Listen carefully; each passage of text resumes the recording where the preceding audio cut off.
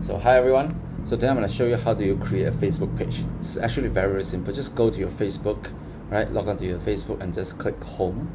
Click home. And then what you do is very simple. Just click create and create page. So when you click on create page, right, there's two that you can you can choose, which is a business or brand or community or public figure. So right now, if you are building like a property page, it's probably like we're going to go with brand. My brand uh, property bricks property. Okay so that's what I wanna like name my page as. So the category I'm just gonna put in real estate. Okay real address I'm gonna put it in.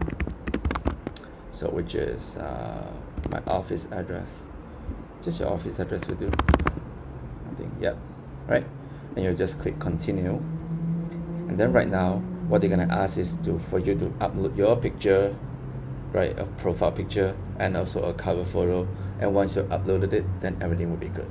So what you need to do like uh, is to design a very nice logo and also a cover photo. But if you don't want to do it now just click skip right? You can skip the profile picture and also skip the cover photo and just look at your page. So it's actually very simple like just a few click and you have a page now. So the next thing would be to actually decorate the page itself to fill in with all the things the cover photo and also the the cover uh, the profile picture and everything. It's that simple.